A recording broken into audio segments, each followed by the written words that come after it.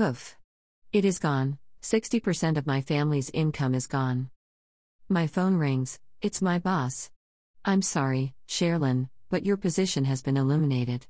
I collapse into the chair in my office, and with heavy, salty tears streaming down my face, I bury my head in my hands and say, Poof. It is gone.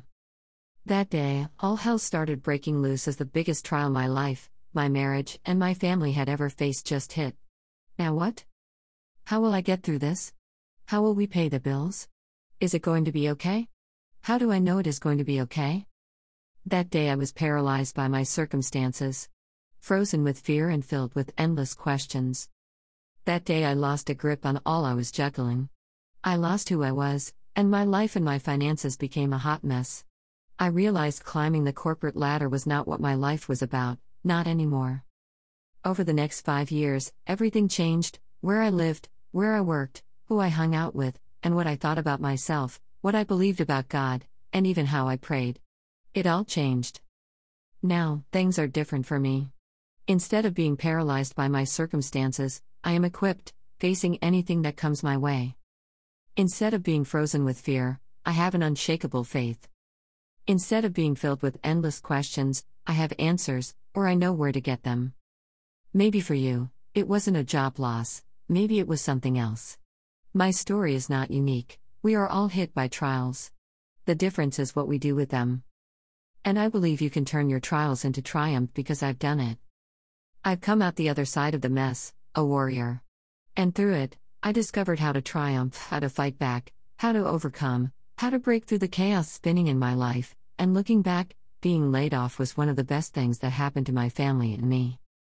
For the past 15 years, I've helped hundreds of people just like you not only survive the trials but use them, learn from them, and get breakthrough for ourselves and others. Whether you barely survived your trials, you got through it okay, but it could be better, or you could use more ways to be an overcomer. I can help. In this book, I'm going to teach you how to ROAR back. You can stop the chaos swirling in your life and make sure it doesn't come back. And you control it by learning how to roar back at your circumstances. I remember watching a documentary on lions, and something struck me, penetrating my heart on a deep, deep level. The narrator explained lions mark their territory with their roar. They majestically pace on patrol, surveying the land they are entrusted to protect, ensuring those they love are safe from threats. Intruders meet a thunderous roar. A declaration so impressive and terrifying, carrying authority and purpose, it is forceful, confident, and unyielding. He alerts all of his presence, and his roar is a warning that he will defend his territory. Even the gentlest of purrs make the little hairs on the back of your neck stand up, but at its fullness, your knees knock and tremble.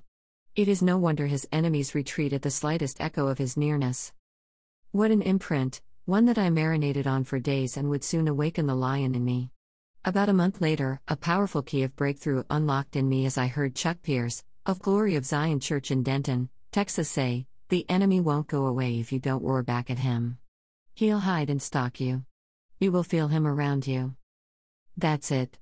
That is what I need to tap into. I need to find my roar, that voice inside of me that speaks with confident boldness, which stands up in my authority, backed by the full presence of God, and firmly confronts my circumstances. A roar that sends all those doubts, fears, and anxieties packing. A roar that overcomes the worries. Lions are not messed with, and when we roar back, neither are we. It is that roar that I want to help you find too. So let's learn to roar together.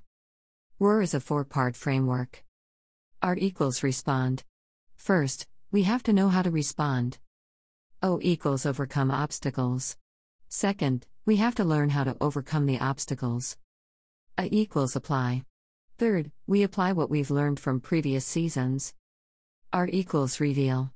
And last, we reveal our story to others. What does it mean to roar? To overcome everything we have to face, the trials we are dealing with, we do it with bravery and courage. We have to dig deep and know our identity, both who we are and whose we are, so we can stand in authority. The process that God walked me through was teaching me how to roar, to roar back at my circumstances, to find my voice, and to make the chaos swirling in my life stop. The framework above will give you a general idea and an easy acronym to remember during the stress heights. And when you learn to roar back, you are equipped to face whatever comes your way.